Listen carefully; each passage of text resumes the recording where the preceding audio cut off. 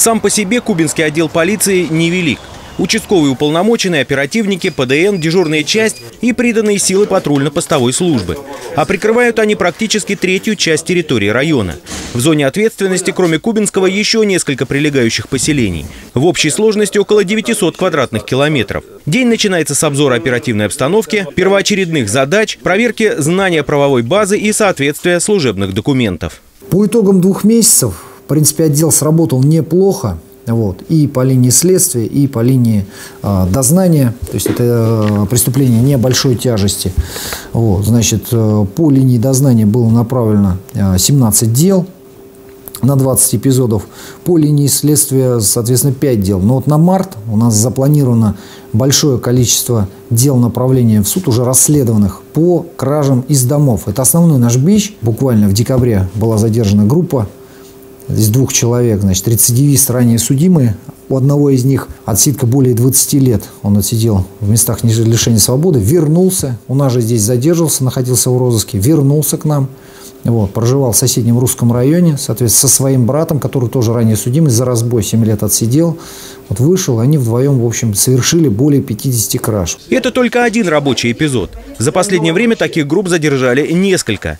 Преступлениям, связанным с садовыми товариществами, здесь уделяют особое внимание. Тут почти 300 СНТ, и именно они дают основной массив преступлений. Сказывается и то, что летом за счет дачников число людей в поселении многократно возрастает.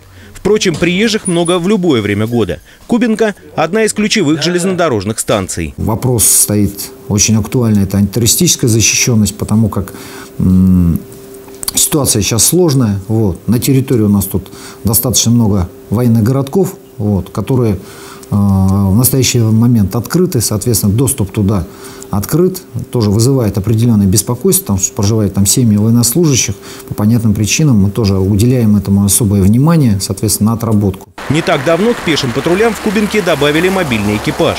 При такой обширной территории это решение оказалось весьма кстати. Управление пошло навстречу отделу, выделив для этих целей дополнительный автомобиль.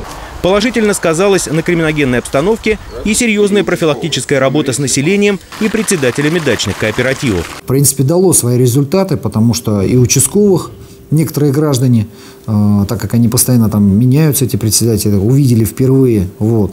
Буквально э, месяц назад участковый, находясь на инструктаже, получил информацию, выехали, тут же раскрыли кражу из дома. Двоих граждан Украины задержали и, соответственно, привлекли к ответственности. Вот. Сейчас они ожидают суда. В Кубинке к местной полиции относятся по-доброму. Хорошо работает, ребят. Да я, в общем-то, с ней особых контактов не имел, но и так ребята ходят, так видно, что нормально, у меня никаких замечаний нету.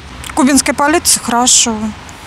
Мне нравится то, что они полностью э, контролируют местность. Вот так. Нормально. Главной задачей на ближайшее время в Кубинском отделе полиции считают дополнительное обучение личного состава. Так что скоро на окраинах Одинцовского района станет еще безопаснее. Петр Горохов, Леонид Бурдин, телекомпания «Одинцова».